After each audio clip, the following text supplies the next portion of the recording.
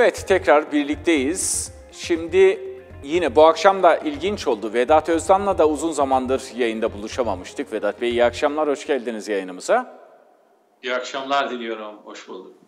Şimdi Vedat Bey hafta sonu tabii ki herkesin böyle teyakkuz halinde geçirdiği bir dönemdi. Sonra dün haftanın ilk işlem gününde ciddi e, gerilimli diyebileceğimiz bir günü bıraktık. Ve ikinci günde borsa düne kaybı, yani dünün rakamlarına tekrar geri döndü diyebiliriz. Çünkü sabahtan itibaren ciddi bir kayıpla yine güne başlamıştı. E, döviz cephesinde dünün aksine biraz daha Türk lirasının değer kaybını görmüş olduk. Bütün bu tartışmalar durulmaya başladı diyebilir miyiz? Nedir sizin gözleminiz? Umarım durulur. Ee, e, evet borsada bugün bir tekrar yukarıya doğru hareket e, başladı. E, fakat yeşille bitiremedi borsa. Ama sanayi hisselerinde yukarıya doğru hareket gördük. Bankacılık hisseleri maalesef çok düz. Kötü bir çok performans kötü. sergilediler, evet. Evet. E, tabii havacılıkla e, ilgili sektörlerde, e, ihracat odaklı sektörlerde Avrupa'daki kapanma tedbirlerinin artması ve uzaması üzerine çok e, nefeslenemediler. Ama e, daha önce e, dayanak, dayanıklılığını ispat etmiş, e, finansalları iyi olan şirketlere hemen tabii e, ilk talep oraya geliyor. E, kurla ilgili maalesef volatilite bugün yüksekti. Londra swap piyasasında bir ara e, TL faizlerinin yüzde 1400'lere çıktığı haberi geldi. Yani orada bir sıkışıklık var. Bundan önceki e, e, daha önce TL e, spekülatif amaçlı satışları önlemek üzere durdurulmuştu. E, bankalar üzerinden alınan önlemler sanki yeniden alınıyor gibi bir hava var. Dolayısıyla orası durulmadan, e, kabine revizyonu ve manifestoyu du, duymadan 15 Nisan'da sağlıklı bir şekilde atlatmadan volatilite e, ve kurda istikrar e, görmek zor. Belki e, volatilite şiddeti azalır. E, umarım kur tekrar aşağılara gelir. Şimdi tabii pazar günü yeni Merkez Bankası Başkanı Kavcıoğlu'nun ilk bir açıklaması oldu ortamı sakinleştirmek açısından. Sonra banka genel müdürleriyle pazar günü bir görüşme e, Zoom üzerinden gerçekleşti. Bugün, e, dün Hazine ve Maliye Bakanı Elvan'ın açıklamaları, bugün içerisinde de yine bir küçük bir bilgi olarak değerlendirelim. Merkez Bankası Başkanı e, banka genel müdürleriyle görüşecek. Serbest piyasa vurgusu var. E, verdiğim mesajlara bakıp ya da ortaya çıkan mesajlara bakınca nasıl bir Merkez Bankası Başkanı'nın dönemi olacağını düşünüyorsunuz? Bir defa Merkez Bankası'nın e, operasyonel bağımsızlığı çok ciddi yara aldı. E, bunun e, onarılması e, kredibilite inşası, yarım kalan kredibilite inşasının biraz zaman alacağını e, düşünüyorum. E, kabine revizyonu çerçevesinde Lütfi Elvan da ismi geçiyor ve en azından Maliye ve Hazine Bakanlığı'nın e, ayrılması, Maliye ve Hazine'nin ayrılması iki ayrı bakanlık olarak e, yeni kabinede e, yer alıp almay almayacağı. Ağbal için diyorsunuz siz. Yok, e, Lütfi Elvan, Elvan için Türkiye Bank raporunda da geçti. E, piyasa kulislerinde de konuşuluyor. Dolayısıyla e, yeni başkanın e, daha önceki yazılarına bakılarak e, daha, daha ihracat ve büyüme odaklı e, yüksek olmayan bir faizden yana olduğunu anlıyoruz. Şimdi şöyle bir teorik çerçeve var. İşin pratiği de aslında yaklaşık 10 yıldır AK Parti ekonomi yönetimi arasında tartışma konusudu.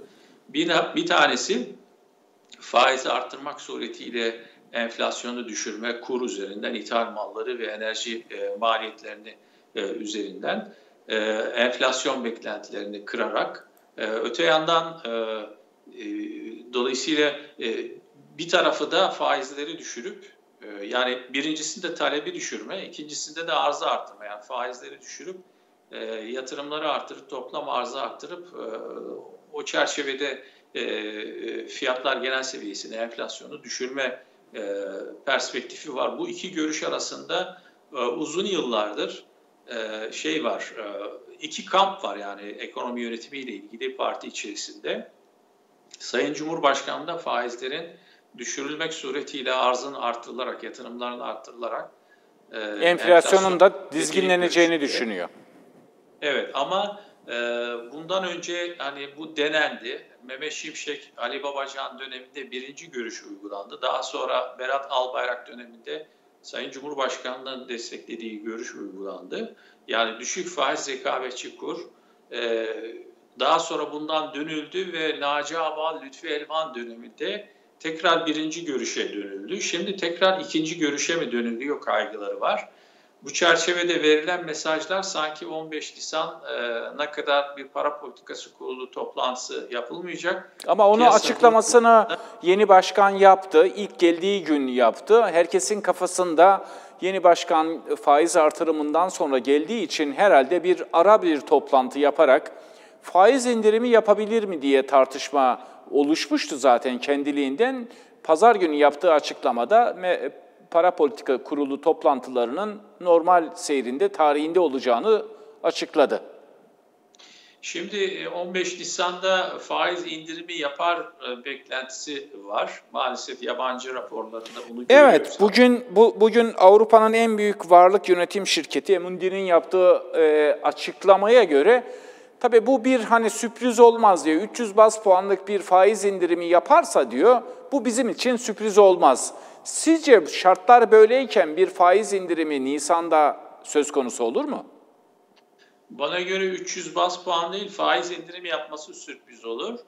Ee, şeyi görmemiz lazım, yeni kabineyi görmemiz lazım. Mevcut ekonomik e, paketi biraz daha güçlendirilmesi e, gerekiyor. E, şu andaki e, yani enflasyon beklentileri e, kırmak konusunda biraz daha çaba sarf etmek gerekiyor. E, bir yol alınmıştı. Son 4-5 ay içerisinde uygulanan sıkı maliye politikasıyla. Daha sonra ekonomik reform paketiyle Ömer Lütfi, Lütfi Elvan sıkı maliye politikası taahhüdünde de bulundu.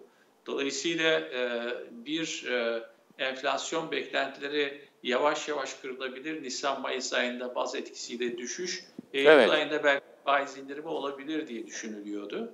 Şimdi bu şey şey, kur krizi, e, parasal kriz e, söyleminin bitmesi lazım. Bu e, Türkiye'nin krizde olmadığı, bu yaşanan türbülansın geçici olacağı ve yine ortodoks politikalarla e, şeyin yaşanan e, sorunların üstesinden gelineceği ne piyasaları ikna edici bir e, şey çıkması lazım, hikaye çıkması lazım. Ve kurumların da bu, bu hikaye sahiplenmesi e, Sayın Cumhurbaşkanı'nın bu hikayeyi destekliyor olması lazım. Ama e, hatırlarsınız Berat Albayrak görevden alındıktan sonra Naci Ağbal'ın yaptığı konuşmalara ve oraya verdiği destek de çok açıktı. Daha sonra nedense bu destek çekildi. Ve 200 bas puanlık faiz artışı sonrasında Cuma akşamı Merkez Bankası bir değişim oldu. görevden alındı. Ee, Vedat Bey, şunu özellikle siz piyasaları çok iyi takip eden, bütün açıklamaları küresel anlamda da takip ediyorsunuz. Ee, yeni Başkan Kavcıoğlu'nun gelişiyle birlikte, geldiği anda isminin ortaya çıkması, kararnamenin duyulmasıyla birlikte faiz indirimi ve faiz indirimiyle birlikte daha çok piyasaların destekleneceği, işte yazılarında, makalelerinde de var, e, ihracata yönelik politika izleyeceği. Ama geldikten sonra hem kendisinin mesajlarında olsun görüyoruz, Lütfi Elvan'ın özellikle dün sabah piyasalar açılmadan önce verdiği mesajlara bakıyoruz. Bugün Cumhurbaşkanlığı ekibinin özellikle yapmış olduğu açıklamaları da görüyoruz. Ee, burada sanki hani Ortodoks politikadan çok ciddi bir ayrışma olmayacağını anlatmaya çalıştılar bugün. Siz ne gördünüz bugün anlatılanlardan ve bu bütün tartışmayı bu anlamda bir ayrışma gözüküyor mu? Ee, öncelikle yeni e, Merkez Bankası Başkanı'nın e, geçmiş e, düşünceleri ve yazılarının dışında Naci Ağbal'ın neyi yanlış yaptığını ve ortaya koyup buna, buna piyasayı ikna etmesi lazım. Kendisinin neyi doğru yaparak enflasyon beklentilerini kıracağını, fiyat ve finansal istikrarı sağlayacağını anlatması lazım. Şimdi e, eğer ortodoks ortodoks politikalardan dönüş olmayacaksa neden e, faiz e, artışlarını eleştiren e, ihracattan büyümeden yana bir Merkez Bankası Başkanı değişikliği yapıldı? Neden Naci Ağbal görevden alındı? Bunu açıklamak e, zaman isteyecek. E, umarım ki yeni başkan e, bu süre içerisinde e, hakikaten e, Merkez Bankası kanununa uygun fiyat istikrarını ve finansal istikrar sıkı para politikasıyla e, destekleyici kalmaya devam eder. Bu yönde verdiği mesajlarla piyasaları e, ikna eder ve yatışır. E, aynı zamanda kabine revizyonu ve Sayın Cumhurbaşkanı yapacağı manifestoda yeni dış politika riskleri yaratmaz e, ve yeni e, kabineye e, piyasalar güvenir. E, bu türbülansta bir şekilde yatışır. E, çünkü bir yandan da hani kur yükseldi, borsa çok düştüğü için borsada da fırsat e, kollayanlar vardır. Nitekim Amerika'da bugün e, Türk e, varlıklarına yatırım yapan e, fonlara ciddi girişler olduğunu dair e, haberlerde geldi. Haberlerde geldi. Şimdi döviz tarafında volatilite ciddi anlamda devam ediyor. E, dün, bugün, önceki gün, hafta sonunda e, e, diğer piyasalarda işlem görmüştü. Küçük dar anlamda da olsa zaten o da fiyatlanmaya başladı. E, burada e, bunun dengelenmesi ne kadar bir süre alır sizce? Yani o ne zaman bir dengeye oturur? Biz Nisan ayındaki para politikası kurulunu bekleyecek miyiz? O yoksa bu süre hep böyle tartışmalı mı, gerilimli mi geçecek? E, sanmıyorum. E, fakat dolar TL'deki e, hani yukarıya doğru çıkış isteği e, maalesef daha güçlü e, kalacaktır. E, Perşembe Cuma günü e, faiz arttırımı kararı sonrası e, aşağıya doğru 7.22'ye kadar gelmişti. Evet, 7'nin altına doğru hareket olacağı beklentisi de vardı, evet. Oluşmuştu. Ee, ki bu da aslında bayağı bir ekonomiyi rahatlatacak bir gelişmeydi. Çünkü e, malumunuz e, Türkiye'nin bir yıl içerisinde yani Aralık ayı sonuna kadar e, 212,5 e, milyar dolarlık bir e, döviz yükümlülüğü var. Bunun 117 milyar doları kısa vadeli borçlar, 29 e, milyar doları uzun vadenin bu süre içerisinde ödenecek ana para ve faizi, 54 milyar dolar cari açık, bir 11 e, küsür milyarda devletin dış borç ödemesi var. Ortada 53 milyar dolarlık bir brüt döviz rezervi ve negatif 4,5 milyar dolarlık da rezerv var. Dolayısıyla elinizde e, hani kurun ateşini söndürecek e, yeterli şey e, cephaneniz e, yok. E, hane halkının döviz tevdiat hesaplarından geri dönüşü yok. E, tam tersine şimdi bundan sonra şeyi izleyeceğiz. Acaba döviz tevdiat hesaplarında bir artış mı olacak? Şimdi onu soracağım. E, şimdi burada nasıl bir tepki verir? Hani duygusal bir tepki mi verir e, yatırımcılar ya da yurt içi yerleşikler? Döviz almaya devam mı edecekler? ya bu pik yaptı, çok yüksek noktaya çıktı. Biz TL'ye dönelim, %19'da iyi bir faiz, getirisi de çok iyi, o tarafa mı dönelim? Nasıl bir hareket Şimdi bekliyorsunuz? Ay, ay sonundaki stopajı umarım e, şey yapmazlar, e, e, uzatılır. E, tekrar %15, %10 e, stopaj oranına dönülmez. E, TL'nin cazibesini artırmak lazım. E, ama bu cazibe yeterli olacak mı ondan emin değilim. Çünkü bankaların e, 2021 sonu kur hedeflerinde çok ciddi yukarıya doğru revizyonlar var. Bugün bazı e, analistler, Türkiye'yi yakından takip eden analistler e, yüksek e, dolar TL telaffuz ettiler. Onları söylemek istemiyorum. Bana göre biraz da spekülatif şeyi boyutu da var.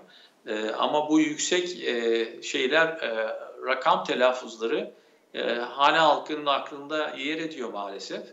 E, bu döviz tevdiat hesaplarının bir kısmı kuru yükseldiği zaman, e, borsa düştüğü zaman e, bir kısmı çözülebilir ve borsada e, pozisyona pozisyon e, alınabilir. ama kurun yukarıya doğru yükseleceği e, beklentisi e, şu an itibariyle kırılmış değil. Bu anlamda e, çözülmeler ama dün, de geçici olur. Dü, dünkü, dünkü enerji bugün yok ama yine bir enerji sıkışması var. Şimdi az önce şimdi burada önümde birkaç ilginç gelişme oldu. Bilgisayardan, e, internetten görüyorum. Bütün gözler aslında yarın yapılacak olan kongre, AK Parti'nin kongresi ve sonrasında bir kabine, yeni bir kabineden söz ediliyor. Ee, AK Parti Genel Başkan Yardımcısı televizyonlara çıktı, bir açıklama yaptı ama o anlamda mı değil mi? Şimdi Ankara'dan bir mahreçli bir haber, en az 5-6 bakanın değişebileceği söz konusu oluyor. Dolayısıyla yarın kongreden sonra kabine değişirse, o da bir yeni bir enerji, bir sıcak bir gelişme, piyasada yeni bir umut, yeni bir hikayeye dönüşür mü? Umarım e, dönüşür. E, hatta o yeni e, kabine içerisinde teknokratların da olabileceği kulislerde gene yazıldı. Konuşuldu akşamüstü kulislerinde. Yani söylediğim gibi böyle Sayın Cumhurbaşkanı'nın ekonomi yönetimine bu şekilde müdahale etme ihtimalini asgariye indirmek lazım. Yani kurumların çalışıyor olması lazım. Atanan bakanın e, şeyinden, geçmişinden, kimliğinden bağımsız olarak hakikaten görevini yapabil, yapabilecek olması lazım. E, dolayısıyla e, biraz inisiyatif, biraz özellik tanımak lazım kurumlara. Hedef verip ulaşıp ulaşmadıklarını kontrol etmek lazım. E, yani yönetim tarzının bu şekilde olması halinde bir umut hikaye doğar. Ama tek başına isimler tabii ki önemli. Tabii ki ona, ondan sonra yapılacaklar çok daha önemli. Ama asıl burada 15 Nisan'da para politikası kurulu faiz indirimi yapacak mı yapmayacak mı yapmazsa bundan sonra enflasyon beklentileri kötüleşirse kur artışı dolayısıyla e, faiz artışı yapıp yapmayacağı bunlar, bunlar göz, gözlenecek. Yani evet.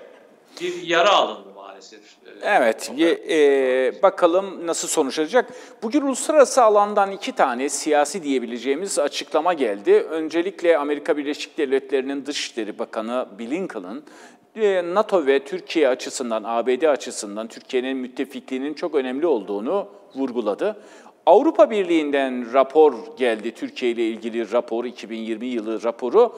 Orada sanki havuç ve sopa gösterisi yapıldı. Ee, beş tane Türkiye'ye destek veren e, bir bölüm ayarlandı. Beş tane de biraz da tehdit Doğu Akdeniz'den diğer konulara kadar. Ama ilginç olan uzun zamandır üzerinde tartışılan Gümrük Birliği'nin revizyonunun yapılması gerektiğini Avrupa Komisyonu tarafındaki raporda görüyoruz. Bu iki haber Hatta Dışişleri Bakanı Blinken'la dış, e, Cum, e, Türkiye Dışişleri Bakanı Çavuşoğlu'nun da bugün ilk defa Amerika ile üst düzeyde bir görüşme ilk olmuş olacak. Oradan çıkacak olan sonuç da önemli. Ne diyorsunuz? Buradan da bir uluslararası alanda, uluslararası alanda en azından bir tehditkar bir görüntü şimdilik yok ben e, o, o görüntüyü, görüntünün piyasa, piyasalarda karşılığını bulması için e, Biden ve Sayın Cumhurbaşkanı arasında e, herhangi bir e, gerilim olmaksızın dostane bir telefon görüşmesini e, beklemek gerektiğini düşünürüm. E, Dışişleri Bakanlığı'nın e, tamam Türkiye bizim için e, önemli bir müttefik ama e, ciddi sorunlarımız olduğu da bir sır değil dedi e, ee, ABD'nin Türkiye Büyükelçisi'nin e, Cuma günü mesajları da çok önemliydi. Yani S-400 konusunda e, S-400 sahipliğinin bitmesi lazım diye açık bir mesaj verdi. Ondan önce hatırlarsınız e, e, İbrahim Kalın da S-400 Türkiye için bir egemenlik meselesi. Bundan vazgeçmek mümkün değil. Hatta ikinci S-400 alım görüşmeleri başladı. S-400 meselesi çözülmeden e, maalesef ABD ile ilişkiler e, yani piyasaları rahatlatacak bir e, şeye e, gelmez. E, S-400'den de vazgeçeceğini tahmin etmiyorum Türkiye'nin. E, etmemesi de gerekiyor. E, dolayısıyla bu e, biraz Hulusi Akar'ın e, önerdiği e, çerçevede Girit modeli. NATO içerisinde bir çözüm arayışı ile bu gerginliğin e, aşağı inmesi lazım. Avrupa Birliği'nden zaten Merkel olduğu sürece e, Türkiye Sonbahara kadar Merkel var. Onun için rahatız. Evet. Kötü bir şey olmayacak. Ama sonrasında gelecek olan başbakan adayı da ya da başbakan da e, Türk dostu olduğu imajı var, görüntüsü var. Görelim bakalım. Vedat Bey çok çok teşekkürler katıldığınız için. Rica en kısa zamanda tekrar Vedat Bey ile yine programlarımızda buluşmak istiyoruz. Bugünlük bu kadar bitirdik ama toparlayacağız. Bir reklama gidelim, sonrasında toparlayıp kapatalım.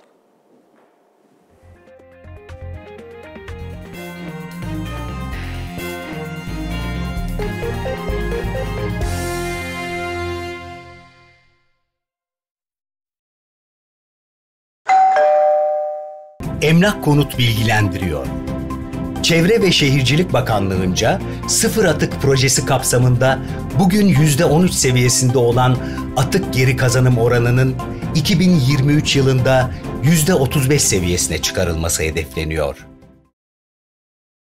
Emlak Konut bilgilendirdi.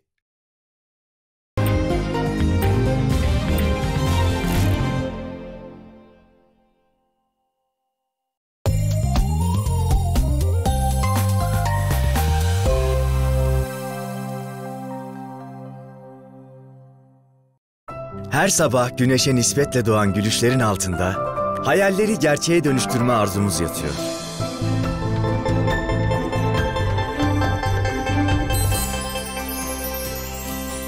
Sevimli canavarların neşesinin altında çelik gibi kaslarımız yatıyor. En güzel uykuların altında doğadan aldığımız ilham yatıyor. Bitmek tükenmek bilmeyen enerjilerin altında rakip tanımayan uzmanlığımız yatıyor. Türkiye'nin istikbali, dünyanın uyku mimarı olmamızın altında yıllardır özenle tasarladığımız binlerce mutlu uyku yatıyor. Uyku dendiğinde akla istikbal geliyor. Uyku mimarı, istikbal. Görkemli duruşu ve göz kamaştıran tasarımıyla Koçak Van Baget yüzük herkesin gözdesi olacak. Koçak